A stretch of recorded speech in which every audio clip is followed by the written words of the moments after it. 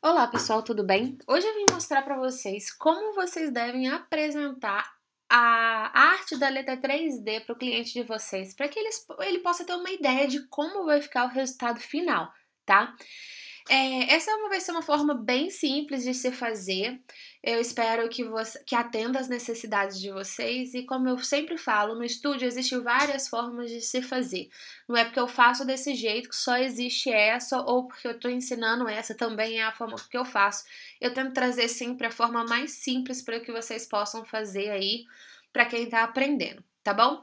É, recentemente eu liberei um vídeo aqui no canal em que eu ensinava vocês criarem esses apliques da parte da frente da caixa 3D.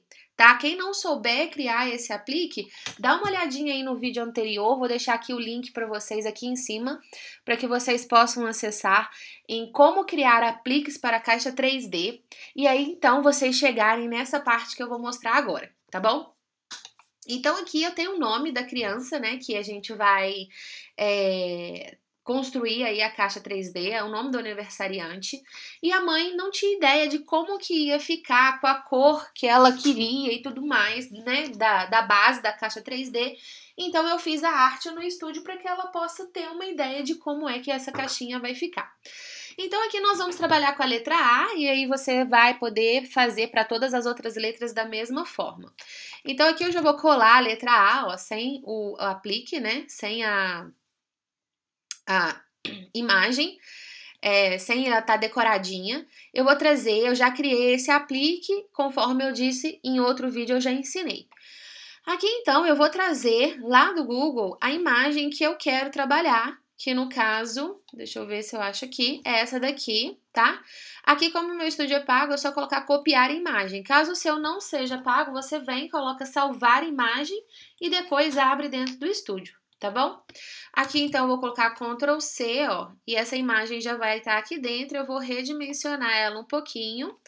Vou enviar ela para trás, ó, vou clicar aqui no botão de enviar para trás para que eu possa ver direitinho e vou posicionar então no local que eu gostaria, tá? É mais ou menos aqui o local que eu gostaria. Seleciono as duas imagens, venho aqui na ferramenta de modificar e coloco recortar. Assim eu já tenho essa parte da frente da caixa, tá? Agora eu vou criar a profundidade, né? Que é a caixa 3D. Eu venho na internet e coloco aqui a cor do papel que eu vou utilizar, que no caso é o Tiffany, não, é Tahiti 180, ó. Tahiti, papel Tahiti, coloca assim, papel. Aí você vai em imagens e procura no computador a imagem que mais se aproxima ao que você tá vendo do papel, tá? Então, para mim é essa daqui, eu vou copiar aqui ou então salvar e vou abrir aqui no estúdio veio trouxe o papelzinho para cá.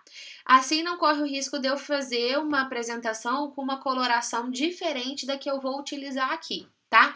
Então existem várias tonalidades, ó, se você abrir o Google novamente, você vai ver que existem várias tonalidades do, do Tahiti, mas você tem que procurar aquela que visualmente fica mais próxima ao que você está utilizando.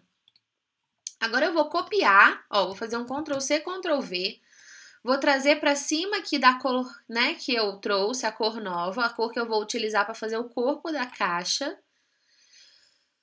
E agora eu vou selecionar as duas e também vou clicar aqui em recortar. Assim eu já tenho a parte de trás. Agora eu vou colocar aqui enviar para trás e aqui eu vou dar uma posicionada aqui, ó, mais ou menos de forma que fique para trás.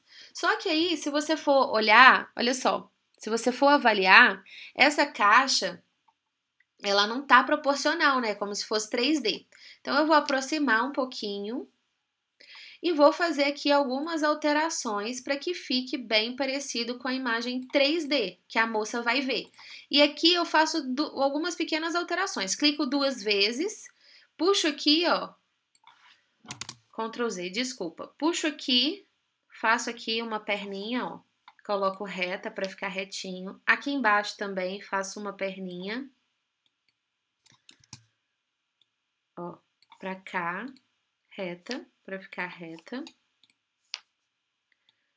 Não deixa ultrapassar. E aqui em cima também, ó, eu vou criar uma aqui para fazer a diagonal, como se fosse então uma caixa 3D. Assim, a pessoa já vai conseguir visualizar mais ou menos, ter uma ideia de dimensão, né, de profundidade da caixa. Agora basta eu trazer o aplique que eu quero lá da internet, né? No caso, eu utilizei esse bonequinho é, amarelo, lá foi outro, mas eu posso trazer aqui qualquer um, ó. Vou pegar esse daqui, eu posso copiar a imagem ou salvar, né? No meu caso, eu consigo copiar, como eu já disse, porque o meu estúdio é pago. A imagem veio, eu vou rastrear essa imagem, porque não adianta eu deslocar sem antes eu rastrear, porque senão vai deslocar errado, tá? Fazer um deslocamento errado, ó. Faço aqui, coloco destacar, aqui já destacou então do fundo. E agora eu vou utilizar a ferramenta de deslocamento vou deslocar, vou colorir ela de branquinha, porque eu vou cortar no papel branco, né? E vou agrupar, porque assim garante de não sair do lugar, e vou então posicionar aqui aonde eu quero e dimensionar. Eu não gosto, gente, de colocar nada muito grande, porque senão você não vê a letra, né? Então você tem que colocar um tamanho que dê para você ver a letra e utilizar um aplique legal, tá?